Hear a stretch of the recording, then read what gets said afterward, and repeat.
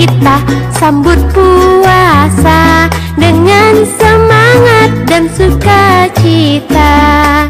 Marhaban ya Ramadan, marhaban ya siam ya Allah sampaikan kami di bulan suci dan ini